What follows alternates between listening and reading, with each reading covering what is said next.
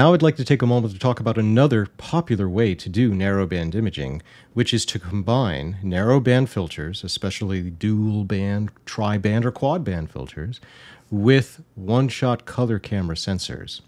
So to begin with, here as an example, I'm showing the Optolong filter, which is a dual band filter. You can see that it basically passes two emission lines. So it's not just a single one. This is why it is meant for one-shot color camera uh, sensors because they have another set of filters. In other words, if you put this extreme filter in front of your your uh, monochrome camera that doesn't have any other filters, there would be no way to distinguish between the uh, photons that are coming through that are O3 and the photons that are coming through that are HA, right? It would all just be gray. So the only way to distinguish is you need another set of filters, and that comes with its own vagaries. I'll talk about those in a second. So, what makes these kinds of filters good for one shot color camera imagery is that you're going to then be able to reject or ignore um, all of the lines that are typically light pollution lines. Here we have a mercury line. This is very typical of the high pressure, um, uh, you know, street lights, things like that. We also have the low pressure sodium lights, and those are going to have these uh, sodium lines here. Uh, and so those lines just don't even, they're totally rejected, will not come through the filter. And that means that the sky will be dark to observe these two emission lines. Now, I'm going to say that the issue then is when we do double filtering, we have a, a, couple of issues. One is this matter of transmission, right? Where we have incoming photons, let's say this is the HA, uh, coming through the dual band filter, but it is passing this uh, HA information. Well, there's going to be a small drop in terms of the total transmission just because of uh, just the nature of filters. So we have a small drop in the number of photons that get through. And then these photons are only going to go through uh, the filters on the uh, one-shot color camera sensor that are colored, you know, red. It's going to be the red band filters, right? They're going to pass through. But then again, this filter also has its own transmission efficiency. So again, there's going to be another drop, small drop.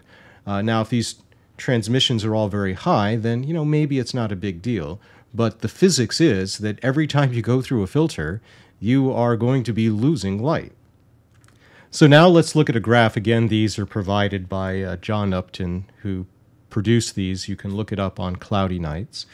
And uh, I'd just like to point out that here we have, you know, uh, the transmission of the red, green, and blue uh, for these one-shot color camera imagers. And what this graph is showing is it's showing the difference between, like, uh, in this case, it's the Astrodon filters compared to the filters that you find in the one-shot color camera uh, sensors. So the Astrodon filters have this very well-defined, uh, you know, red, green, and blue here.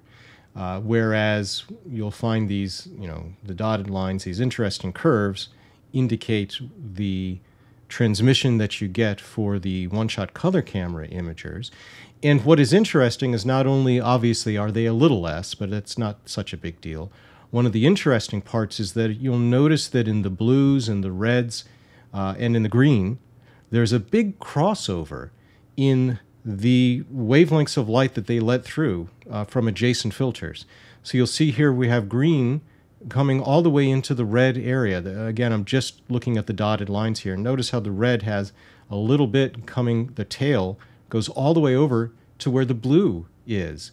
And so this blending of different wavelengths of light, this overlap in the one-shot color camera filters means, and this just a, forget about narrowband, this means that in general, when you do a one-shot color camera image of the sky, the colors tend to have not as much contrast.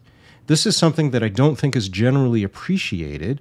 This is necessary when we're trying to create sunlit, daytime, you know, earthbound views of the world around us. To get the colors to look, you know, like what we see with our eyes, that's what's necessary, is to have this degree of overlap.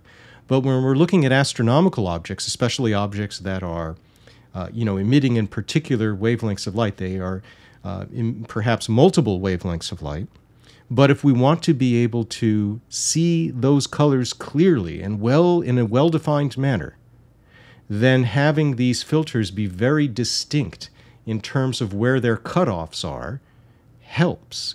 That helps increase the contrast of color in objects. People often wonder when they take images with a one shot color camera imager of a galaxy, how come they can't see the blueness of the galaxy very well, not as striking as when you use a monochrome setup in specific, like in this case, the Astrodon or chroma filters. That's why. The reason is because we have these overlaps between the different channels, and that means that you're going to have a certain amount of light in all of the colors, and that whitens the image up, if you will. That means that there is less color distinguishing contrast.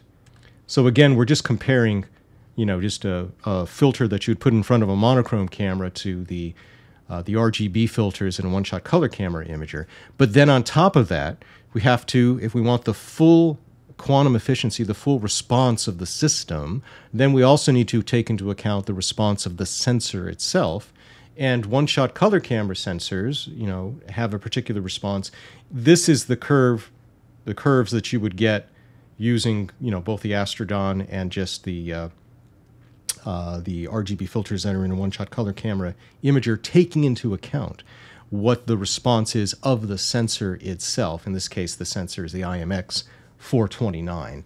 And so you can see, obviously, the QE drops uh, dramatically, you know, certainly in red. Look how far down it comes here, below 50% for most of the time.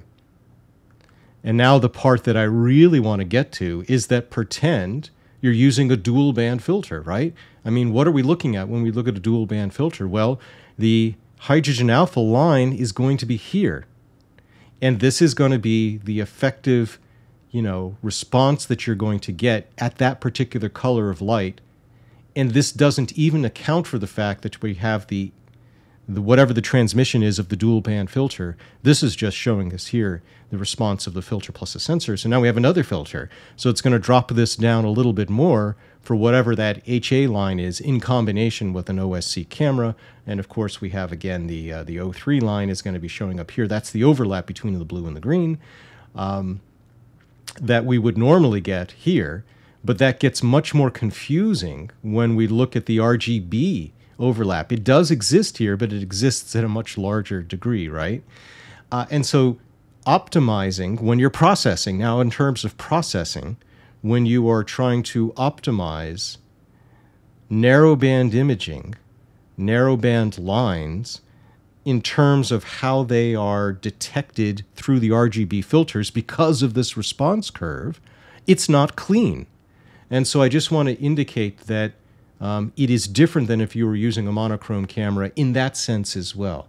So I feel, this is my personal feeling, is that doing this kind of imagery, I know it's very popular, but I think it is more complex because of these very issues, uh, because of this the overlap between the RGB filters, because of the double filtering, that means the hit and transmission that you get. It is harder to get, you know, as good of an image, and so that just takes more processing and more attention to detail and you know those kinds of considerations. So I just wanted to say that about the dual band filtering that's very, very popular, uh, but people do it all the time. I think it just goes hand in hand with the idea that whenever you're doing one shot color camera imagery, it, it is simpler to acquire, but in my mind, it comes with some extra need for paying attention to things when it comes on to the processing side.